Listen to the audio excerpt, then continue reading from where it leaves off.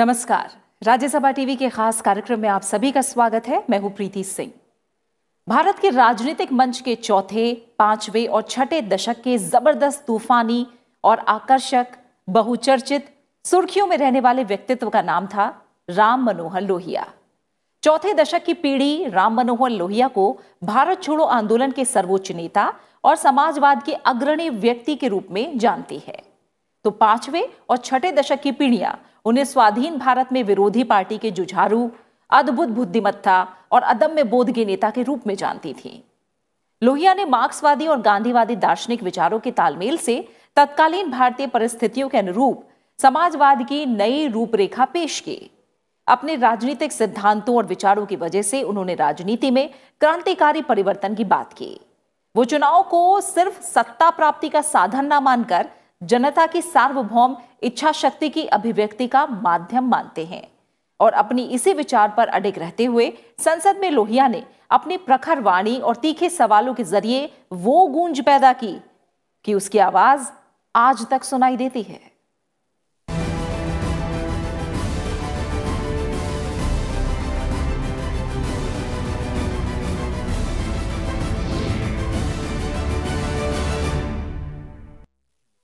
देश की राजनीति में स्वतंत्रता आंदोलन के दौरान और स्वतंत्रता के बाद ऐसे कई नेता हुए, जिन्होंने अपने दम पर शासन का रुख बदल दिया।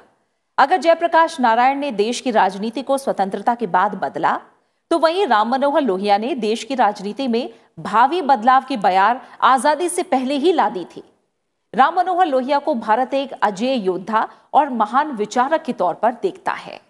अपनी प्रखर देशभक्ति और समाजवादी विचारों के चलते अपने समर्थकों के साथ ही डॉक्टर लोहिया अपने विरोधियों के बीच भी बेहद सम्मान से देखे जाते थे।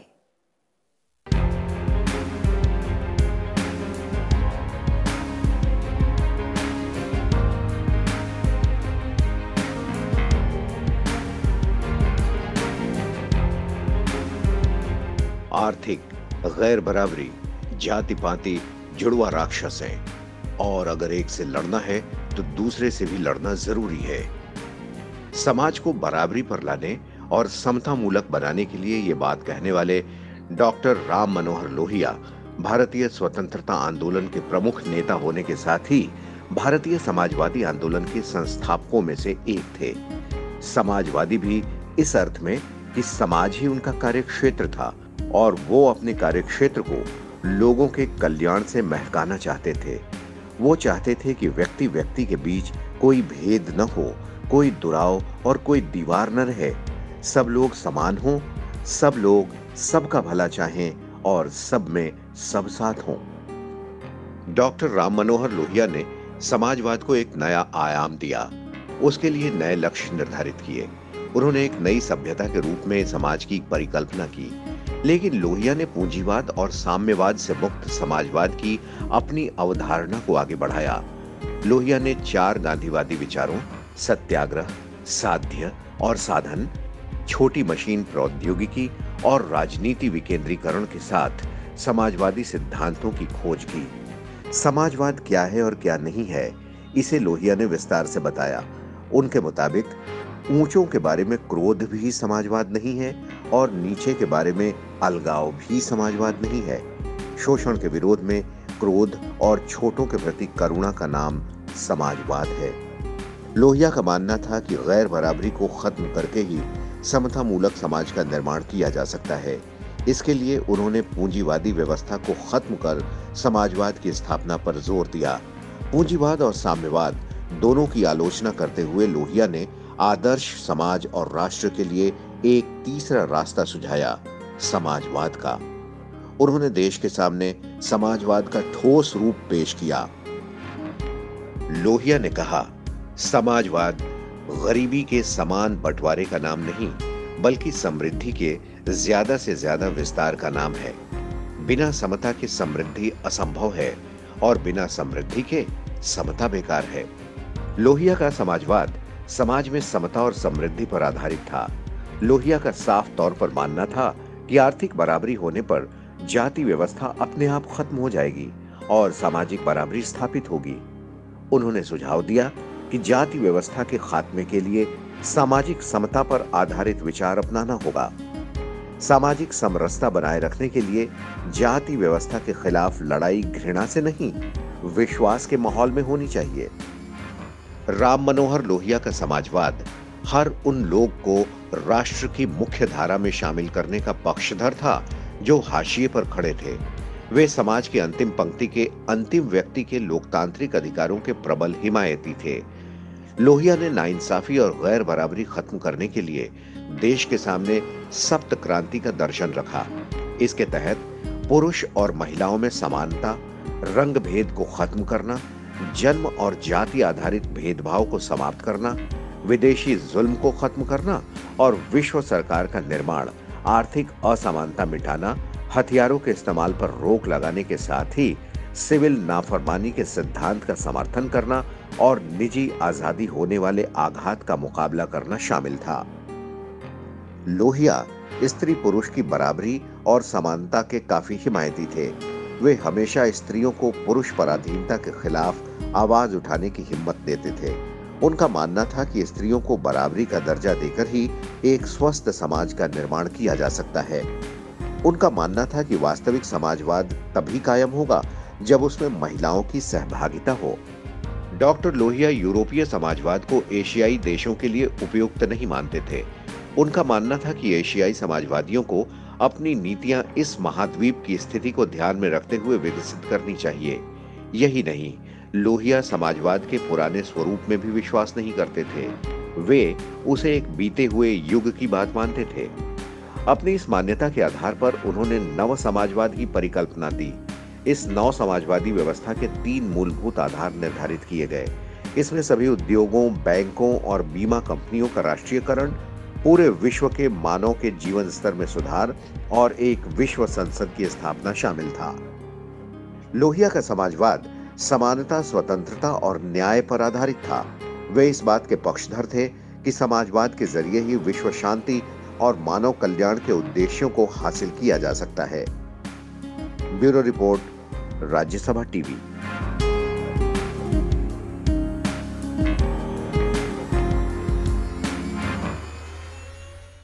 Doctor Ram Manohar Lohia ने केवल स्वाधीनता आंदोलन और समाजवादी आंदोलन में ही सक्रिय भूमिका नहीं निभाई बल्कि वो आधुनिक भारतीय राजनीति के प्रखर चिंतक भी थे।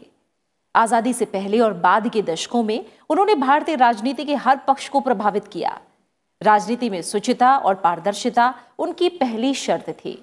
लोहिया के राजनीतिक विचार आज भी राजनेताओं के लिए प्रेरणा स्रोत हैं। लोहिया युग पुरुष थे।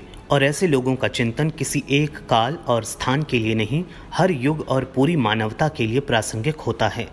राजनीति में शुचिता को लेकर वो जीवन भर संघर्ष करते रहे। यही वजह है कि उन्होंने उस समय की कांग्रेस पार्टी का एकाधिकार समाप्त करने और उसके चलते समाज में फैल रही बुराइयों को खत्म करने के लिए गैर कांग्रेसवाद का आह्वान किया और कहा कि ज़िंदा कौमें पाँच साल इंतज़ार नहीं करती। जो 1960 के दशक में जवाहरलाल नेहरू और इंदिरा गांधी की सरकारों के लिए था। लोहिया ने जीवन भर यही राजनीतिक संदेश दिया कि व्यक्ति और समाज की स्वतंत्रता और तरक्की के लिए विवेकपूर्ण संघर्ष और रचना ज़रूरी है। उन्नीस में उपचुनाव के ज़रिए लोकसभा पहुंचकर उन्होंने धूम मचा दी। लोहिया ने तीन आने बनाम पंद्रह आने की बहस के ज़रिए तत्कालीन प्रधानमंत्री जवाहरलाल नेहरू को निरुत्तर कर दिया था। लोहिया ने कहा था कि किस तरह देश का आम आदमी तीन आने रोज पर गुजर करता है, जबकि प्रधानमंत्री के कुत्ते पर तीन आने रोज खर्च होता है और प्रधानमंत्री पर रोज़ाना पच्चीस हज़ार रुपये खर्च होता है। तमाम सवालों के बावजूद लोहिया अपनी बात पर पूरे साहस के साथ टिके रहे। उनका संघर्ष सिर्फ़ टकराने के लिए नहीं, बल्कि नई रचना करने और नया विमर्श खड़ा करने के लिए होता था। इसलिए उन्होंने अपने साथियों को राजनीति के लिए जेल, फावड़ा और वोट जैसे प्रतीक दिए थे। इसमें जेल संघर्ष का प्रतीक था तो फावड़ा रचना और वोट लोकतांत्रिक तरीके से सत्ता परिवर्तन का। लोहिया की निर्भीकता, किसी भी निराश, हताश कौम में बिजली की तरह हिम्मत पैदा करने की क्षमता रखती थी। लोहिया का राजनीतिक चिंतन भी उनके समाजवादी दर्शन से ही पैदा हुआ था। राज्य के महत्व को वे समझते थे। और चाहते थे कि वो समाज के हित के लिए काम करे। उनका मानना था कि शक्ति केवल राज्य के हाथों में न होकर निचले स्तर तक, यानी गाँव गाँव तक पहुँचे। सत्ता के केंद्रीकरण और विकेंद्रीकरण के बीच तालमेल बैठाने के लिए उन्होंने चौखंबा राज्य की योजना सामने रखी। चौखंबा में गाँव, जिला, प्रांतीय और केंद्रीय सरकार शामिल हैं। किसी देश का उत्थान वहाँ की जनता की चेतना और राजनीतिक जागरूकता पर निर्भर करता है और नागरिकों का सुधार तभी संभव होगा जब स्थानीय स्वशासन को अधिकार देकर उन्हें जवाबदेह बनाया जाए। राज्य और राजनीतिक दृष्टि से उन्होंने धार्मिक राज्य के स्थान पर धर्मनिरपेक्ष राज्य का समर्थन किया, जो धर्म विरोधी नहीं, बल्कि सर्वधर्म संभाव पर आधारित था। राज्य धार्मिक मामलों में निष्पक्ष रहे, बिना किसी भेदभाव के अपने सभी नागरिकों को धर्म प्रचार विश्वास, पूजा, उपासना आदि की स्वतंत्रता प्रदान करे। राजनीति और धर्म दोनों को मनुष्य के नैतिक उन्नति का साधन मानते हुए उन्होंने दोनों के रचनात्मक रूप पर ज़ोर दिया। लोहिया के क्रांतिकारी दर्शन का आधार अन्याय के खिलाफ विरोध करना था। उन्होंने आर्थिक, सामाजिक, धार्मिक, सांस्कृतिक और राजनीतिक सभी पहलुओं पर अपना दृष्टिकोण और विचार रखा। Bureau report, Rajya Sabha TV. Ram Manohar Lohia के आर्थिक विचार उनके समाजवादी चिंतन पर आधारित हैं। अपने मानववादी दृष्टिकोण से वो चाहते थे कि जाति, वर्ण, वंश, धर्म, लिंग, संस्कृति और संपत्ति के भेदभाव से मुक्त, न्यायनिष्ठ सामाजिक व्यवस्था की स्थापना की जाए। ऐसे समाज व्यवस्था की स्थापना के लिए वो क्रांतिकारी दृष्टिकोण को अपनाए जाने को ज़रूरी मानते थे। आम जनता में क्रांतिकारी भावनाओं को जगाना ज़रूरी है। सामाजिक बदलाव के लिए आम जनता में तड़प पैदा होनी चाहिए। तभी सामाजिक परिवर्तनों के लिए आवश्यक पृष्ठभूमि तैयार हो सकती है। और यही आगे जाकर समता आधारित शोषण रहित समाजवादी समाज व्यवस्था बनाएगा।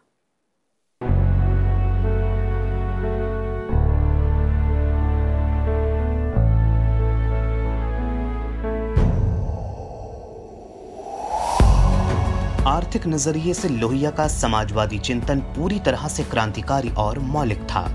उनके इस मौलिक समाजवादी चिंतन का प्रमुख लक्ष्य जाति प्रथा को खत्म कर समाजवादी समाज की रचना करना तो था ही।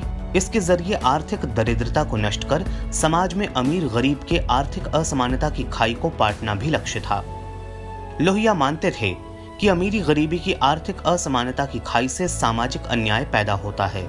इससे ही सामाजिक व्यवस्था असंतुलित होती है। राम मनोहर लोहिया का साफ़ मानना था कि आर्थिक अन्याय खत्म होने से सामाजिक समानता के द्वार खुलेंगे। यही वजह है कि लोहिया के सामाजिक चिंतन में सिर्फ़ जाति और वर्ण व्यवस्था का उन्मूलन ही सामाजिक समानता की स्थापना के लिए ज़रूरी नहीं था। सामाजिक समानता के लिए आर्थिक नज़रिए से आय व्यय की असमानता को समाप्त करना बेहद ज़रूरी है। इसके लिए खेतीहर भूमि का पुनर्वितरण करना, आर्थिक विकेंद्रीकरण और उत्पादन के साधनों का राष्ट्रीयकरण करके समाजीकरण की व्यवस्था करना ज़रूरी है। आर्थिक समानता कायम करने के नज़रिए से लोहिया ने संपत्ति आधारित वर्गों के विशेषाधिकारों की समाप्ति पर ज़ोर दिया। उन्होंने छोटे बड़े नौकरशाहों और अमीरों के खर्चीले जीवन यापन के तौर तरीके पर अंकुश लगाने का समर्थन किया। आय व्यय की सीमा का अनुपात, एक अनुपात दस के अनुसार निर्धारित करने पर ज़ोर दिया। वे इस सीमा को सरकारी और गैर सरकारी क्षेत्र में काम करने वाले लोगों के ऊपर लगाने के समर्थक थे। उनका कहना था कि अपनी आजीविका के लिए सभी व्यक्ति बिना किसी भेदभाव के श्रम करें। लोहिया ने अधिकतम और न्यूनतम आय निर्धारण को समाजवादी व्यवस्था की स्थापना के लिए एक बुनियादी सवाल घोषित किया। उन्होंने चाहा कि इसे निश्चित किया जाना उसकी स्थापना के लिए एक अनिवार्य शर्त होनी चाहिए। इसके बगैर हम समाजवादी व्यवस्था की स्थापना की कल्पना नहीं कर सकते। इसके साथ ही राम मनोहर लोहिया ने मूल्य या दाम बंदी का भी समर्थन किया, जिसमें उत्पादन के माध्यम से उत्पाद के साधनों के मालिक जनता का शोषण नहीं कर सके और उचित मूल्य पर जनता को जीवन जीने के लिए साधन, सेवक और सामग्री उपलब्ध हो सके। लोहिया का विचार था कि इस मूल्य दामबंदी नीति को हकीकत में बदलने के लिए हमें हमारे आर्थिक और सामाजिक जीवन में क्रांतिकारी परिवर्तन करने पड़ेंगे। सरकारी लूट पूंजीपतियों के मुनाफे और बड़े किसानों के हितों पर जमकर प्रहार करने होंगे। इसके लिए लोहिया ने सुझाव दिया कि बंदूकधारी सेना की तरह ही अन्न और भू सेना का गठन किया जाए। ये कृषि और आर्थिक विकास में सहयोग के साथ ही सामाजिक और सांस्कृतिक क्षेत्र में समाजवादी परिवर्तन प्रक्रिया में अपनी भागीदारी निभाएगी।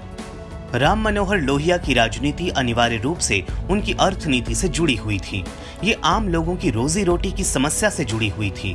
इसलिए उन्होंने कहा कि जो लोग ये कहते हैं कि राजनीति को रोजी रोटी की समस्या से अलग रखो तो ये कहना उनका अज्ञान है या बेईमानी है। राजनीति का अर्थ और प्रमुख उद्देश्य लोगों का पेट भरना है। जिस राजनीति से लोगों को रोटी नहीं मिलती, उनका पेट नहीं भरता। वो राजनीति भ्रष्ट, पापी और नीच राजनीति है। डॉक्टर लोहिया ने अपने आर्थिक चिंतन को व्यावहारिक बनाने के लिए खेतीहर भूमि के पुनर्वितरण पर भी बल दिया। अधिक से अधिक और कम से कम भूमि के स्वामी में एक और तीन का अनुपात हो। उद्योगों की दृष्टि से उन्होंने आर्थिक विकेंद्रीकरण पर ज़ोर दिया। लोहिया बड़े उद्योग की जगह छोटे उद्योग को प्राथमिकता देने के पक्षधर थे। उन्होंने कहा कि उत्पाद का ज़्यादातर काम छोटे छोटे उद्योग में बिजली से चलने वाली मशीनों के ज़रिए पूरा किया जाना चाहिए। इससे हर काम में सक्षम व्यक्ति को रोज़गार मिल सकेगा और बेकारी की समस्या का समाधान संभव हो सकेगा। उन्होंने कहा कि छोटे छोटे मशीनीकृत उद्योगों की पद्धति देश के सामाजिक आर्थिक और सांस्कृतिक विकास के नज़रिए से आवश्यक ही नहीं उपयुक्त भी है। Bureau report Rajya Sabha TV. और आइए अब एक नज़र डालते हैं राम मनोहर लोहिया के जीवन सफ़र पर।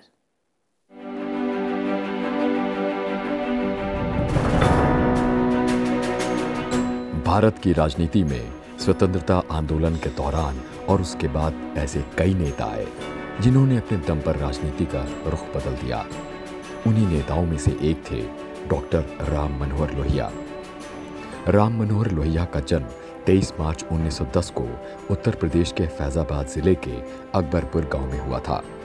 इनके पिता का नाम हीरालाल और माता का नाम चंदा था। राम मनोहर लोहिया के पिता 1920 में बंबई आ गए और उन्होंने लोहिया का दाखिला एक मारवाड़ी हाई स्कूल में करा दिया। राम मनोहर लोहिया ने 1925 में यहाँ से प्रथम श्रेणी में मैट्रिक किया। 1927 में बनारस हिंदू विश्वविद्यालय से इंटर किया। उन्नीस सौ उनतीस में कलकत्ता की एक शिक्षण संस्था विद्यासागर महाविद्यालय से बीए की परीक्षा पास की। इसके बाद इन्होंने बर्लिन के हुम्बर्ट विश्वविद्यालय से अपने समय के मशहूर अर्थशास्त्री प्रोफेसर सोमबाट के मार्गदर्शन में 1932 में नमक का अर्थशास्त्र विषय पर शोध प्रबंध लिखकर डॉक्टरेट की उपाधि हासिल की। 1933 में लोहिया, जर्मनी से भारत लौट आए। 1924 में जब लोहिया सिर्फ़ 14 बरस के थे, तब इन्होंने कांग्रेस के गया अधिवेशन में एक प्रतिनिधि के रूप में हिस्सा लिया था।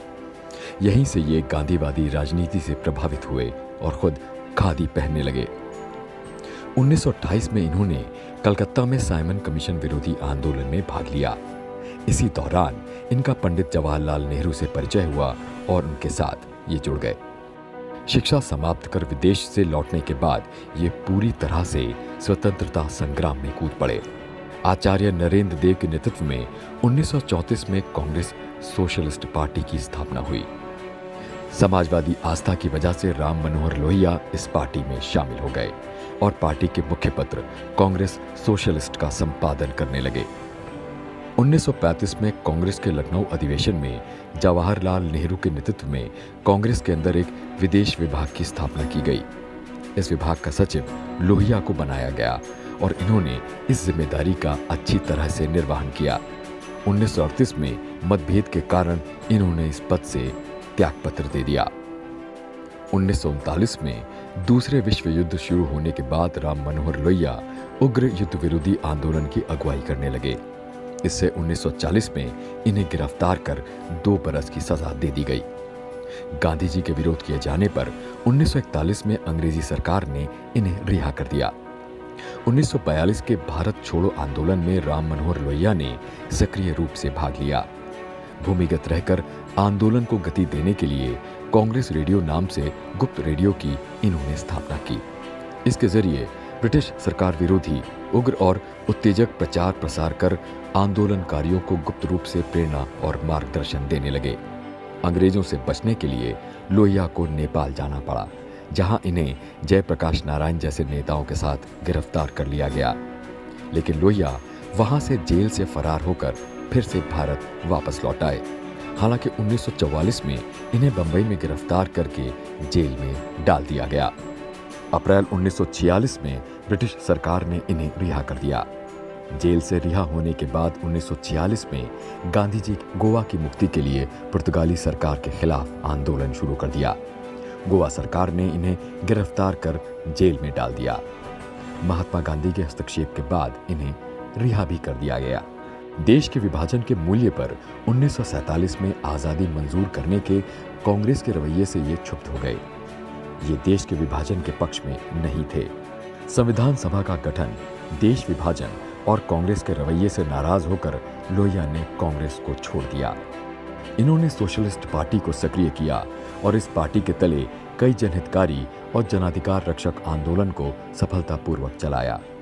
आज़ादी के बाद उन्नीस तक ये समाजवादी आंदोलनों का संगठन और संचालन करते रहे। उन्नीस से लेकर उन्नीस तक लोहिया कई बार पंडित नेहरू के खिलाफ चुनाव में खड़े हुए, लेकिन इन्हें सफलता नहीं मिली। उन्नीस में अमरोहा निर्वाचन क्षेत्र से उपचुनाव जीतकर राम मनोहर लोहिया पहली बार लोकसभा पहुँचे। संसद में इन्हें सरकार की और खास तौर पर नेहरू की अपनाई गई विभिन्न नीतियों और कार्यक्रमों की जमकर आलोचना की और नेहरू को जन विरोधी करार दिया। राम मनोहर लोहिया ने 1964 में महँगाई, भ्रष्टाचार, भाई भतीजावाद और लाल फीता शाही जैसे मुद्दों पर अलग अलग दलों के साथ मिलकर देशव्यापी बंदी का आयोजन किया। और आम जनता को इन मुद्दों के प्रति जागरूक करने का प्रयास किया। उन्नीस के चुनाव में इन्होंने गैर कांग्रेसी आधार पर विभिन्न विरोधी दलों का गठबंधन बनाकर कांग्रेस हटाओ, देश बचाओ का नारा बुलंद किया था। इसी का नतीजा था कि देश के आधे से अधिक राज्यों में गैर कांग्रेसी सरकारों की स्थापना संभव हो सकी और गैर कांग्रेसवाद भारतीय राजनीति की एक प्रमुख शक्ति के रूप में उभरने में सफल हुआ। राम मनोहर लोहिया 1966 में बीमार हो गए थे। जाँच से पता चला कि इनके गर्दन में भयंकर रोग है। 30 सितंबर उन्नीस सौ सड़सठ को दिल्ली में इनका ऑपरेशन किया गया।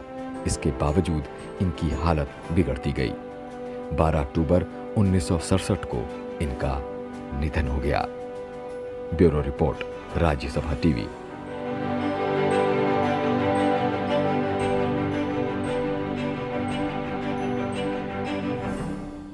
और इसी के साथ फ़िलहाल इस खास पेशकश में इतना ही।